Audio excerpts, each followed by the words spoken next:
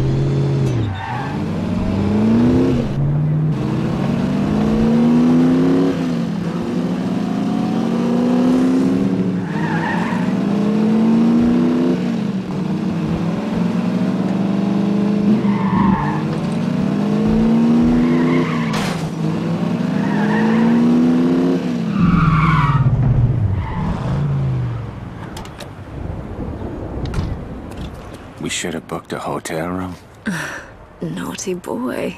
I don't typically mix business and pleasure, but sometimes I can't help myself. For a moment there, I thought you were dead. Not quite. But the bastards get an A for effort. If this isn't a social call, what are we talking about? You're going to help us take a man from a train, then drive the train over a cliff. Sounds like fun. Ever blown up a bridge? Not yet, but I'm a fast learner. Who's the punter? Dr. Klaus Kessler, chief engineer for the Nazis' secret atomic weapons program, codenamed Volhon. The secret that got Jules killed. You were practically on top of Kessler's lab when you were captured. Bloody bad luck. Poor Jules. Bad luck for the fucking Krauts. Join the Nazi party. So what exactly is this? Kidnapping? Defection.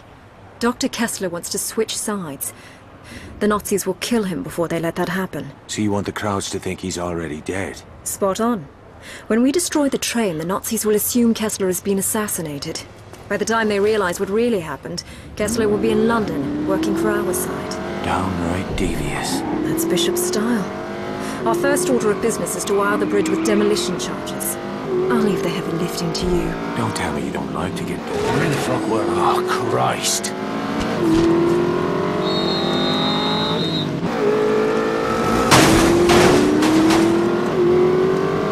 Where were we? I'll leave the lifting to you. Don't tell me you don't like to get dirty. You know better than that. I just like to see you work up a sweat. Ah, very nice. Thank you. You're lucky I borrowed this car. I'd say you're the lucky one.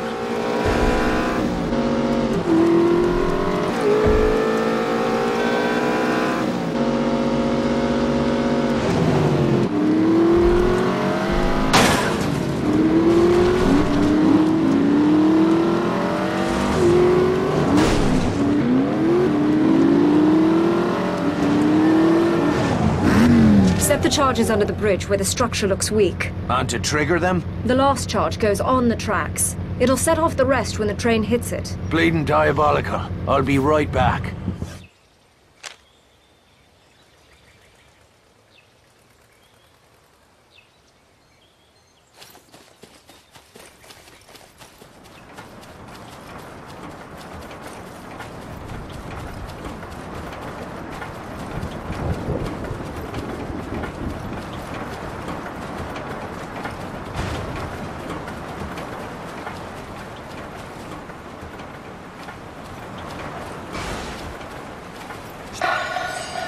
Some of these struts have seen better days.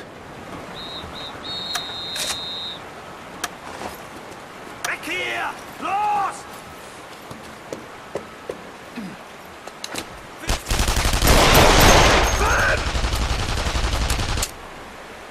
Fucking hell, bleeding all over! Here we are.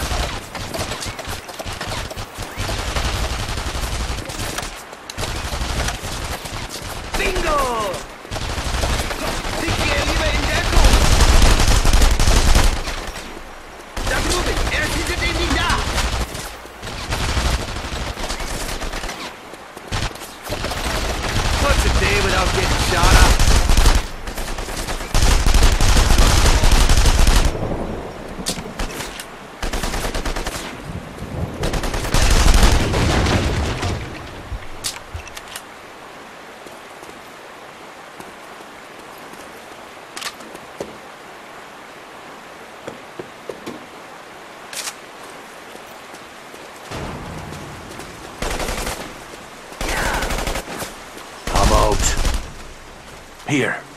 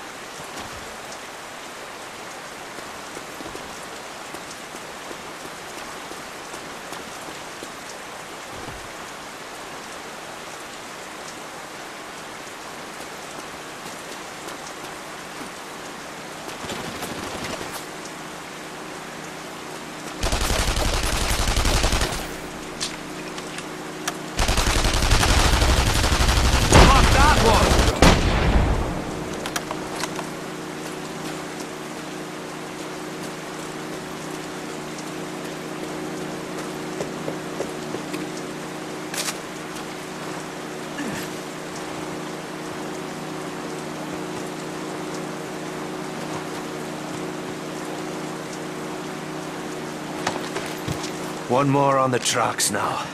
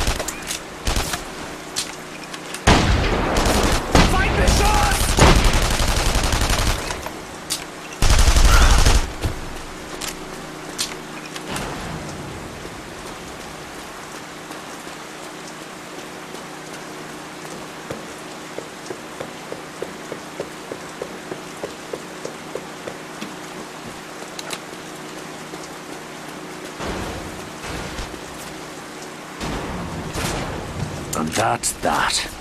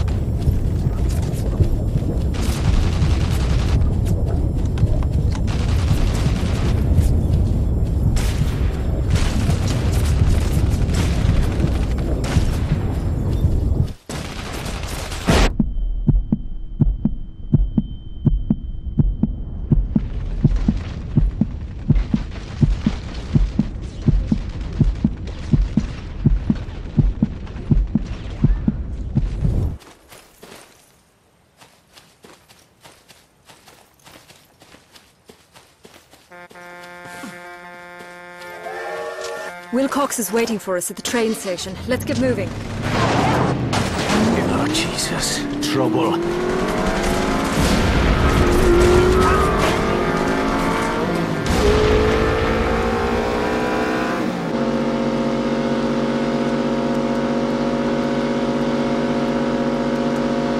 You were saying? If Kessler is the Kraut's golden goose, why risk sending him to France? He's here to convert the Paris cyclotron for military use. They couldn't send somebody else? They did. The first engineer they sent died suddenly in his sleep. How'd you hear? I was lying next to him at the time. I thought you didn't mix business with pleasure. His pleasure. My business. So Bishop's got you turning tricks for him now. We're prepared to use any means necessary to stop the Nazis from acquiring an atomic bomb. I see. They handing out medals for that? Don't be an ass. Wilcox is just over there.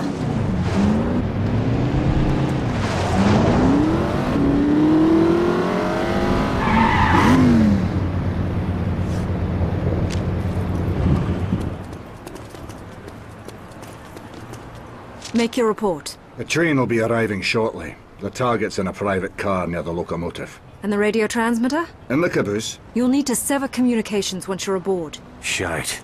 This is getting complicated. I'll be waiting to pick you up near the bridge. Whatever happens, make sure that train reaches the river. Sean, if anything goes wrong, if you can't get Kessler out, kill him. You tell Bishop to go and shite. I'll get your boy out, but I'll not be your damn trigger man.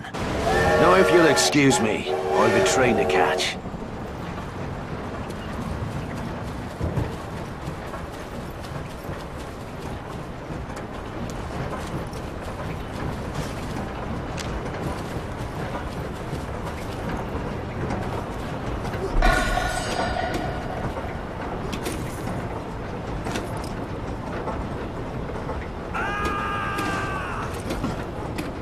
Oh well, I'm not much for the sneaky stuff anyway.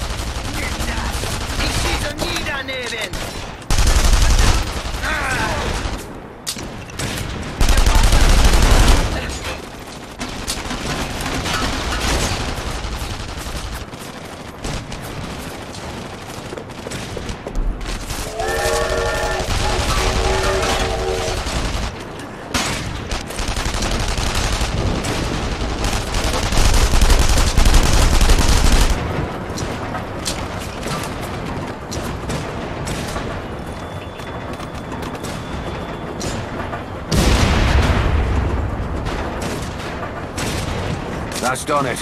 Now to find the doctor.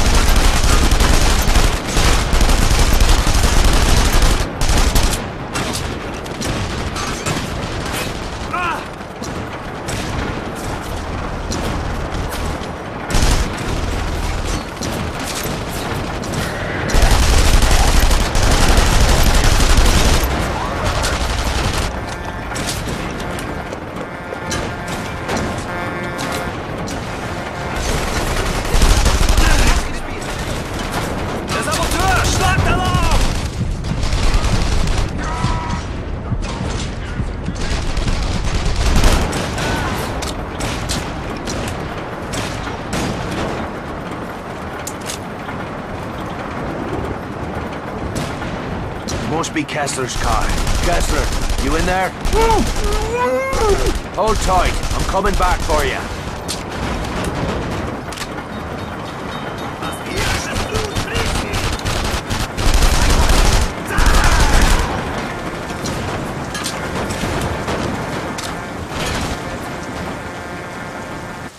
Now for Kessler.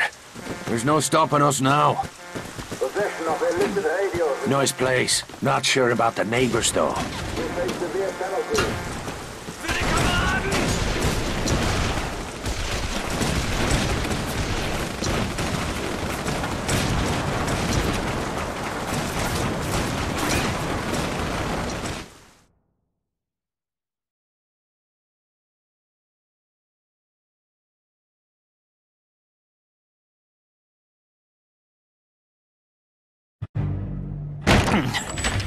You Kessler. Bishop sent you? Are you working alone? Aye. I'm sorry to hear that.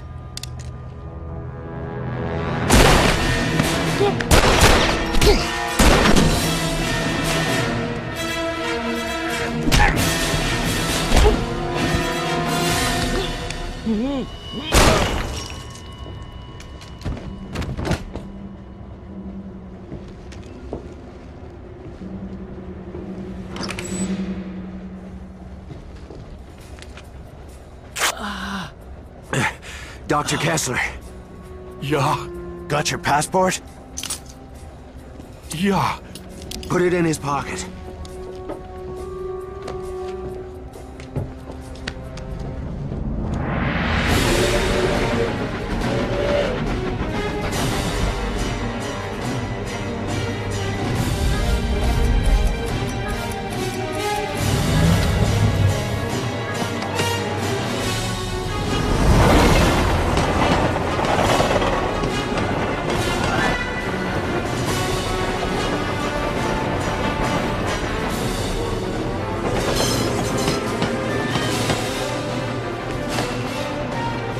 To go.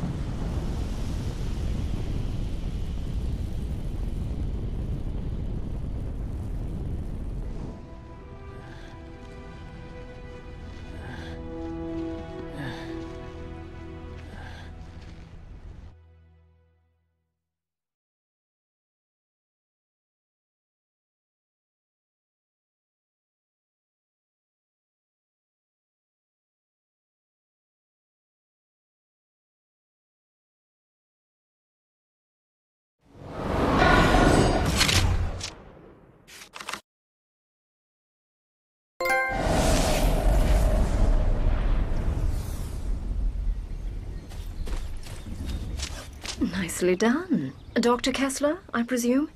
An honor to meet you. You've made a courageous decision. One day even your own country will thank you. I'm not doing this for my country. Or yours. The Krauts will be swarming all over this place. Let's get the fuck out of here. Uh, Sean, I'm afraid there's been a change of plans. What happened? Our flight home has been cancelled. We'll need to stash Kessler somewhere in the city. At least until we figure out a way to get him out of the country. I know a place. I'll drive.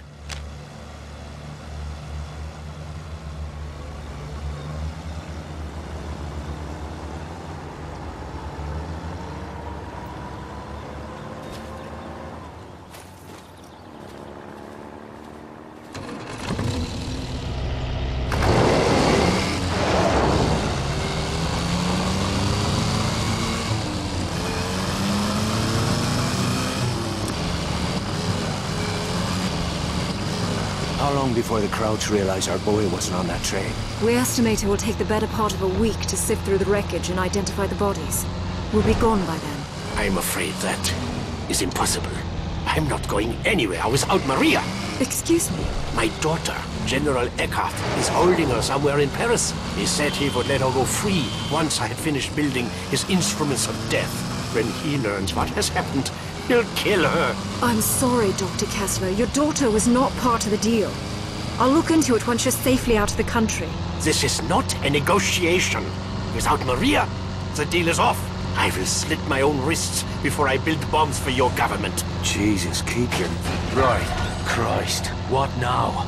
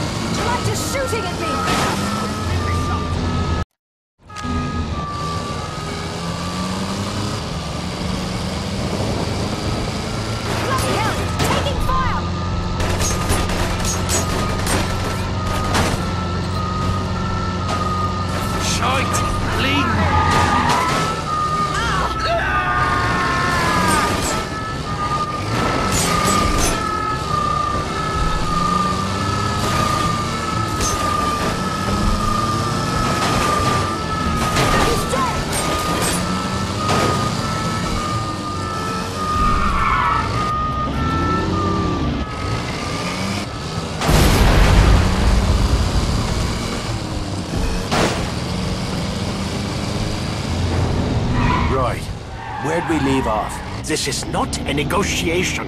Without Maria, the deal is off. I will slit my own wrists before I build bombs for your government. Jesus, keep your knickers on, Doc. If your girl is here, we'll find her.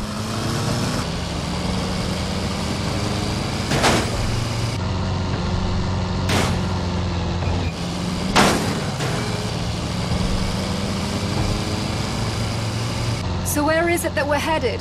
I'll give you a hint. How do you like your steak? Bloody, of course. Are you asking me to dinner? You always did have awful timing. Maybe later. But first we'll knock up a friend of mine. He can help us with Dr. Kessler. And your friend is a chef?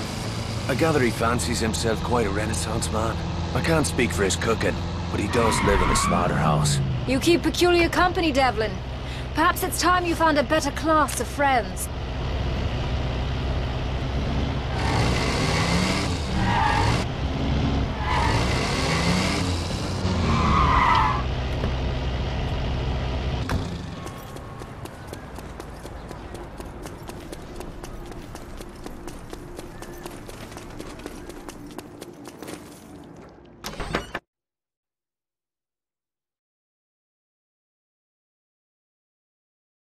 You know better than to bring strangers here. Friends. They need a place to lay low for a few days. This is not an hotel. Nor a brothel. Oh, feeling a touch homesick, are we, darling? Ah, an English aristocrat. Does your father know you are here, girl? I expect he's too busy buggering the chambermaids. We Sinclairs are always up for a bit of rough. I'll vouch for her. And where are you? I'd mind me manners. She's got friends. Not the sort you want to cross. What does that mean? Do I have to fucking spell it out for you? She's a British agent. Why have you come here? You rubbed the lamp, Monsieur Godin, and voila! Here I am to grant your heart's desires. You know who I am. Of course. We know all about you. I've even read your awful books. My superiors in London are your biggest fans, Luc. They'd like to offer you their help. What kind of help? Oh, guns, medicine, radio equipment, whatever you require. In exchange for your cooperation in certain covert operations. Ah, please excuse my poor hospitality, Lady Sinclair. Come, join us for a glass of wine. It seems we have much to discuss. We should go see what's bothering Veronique.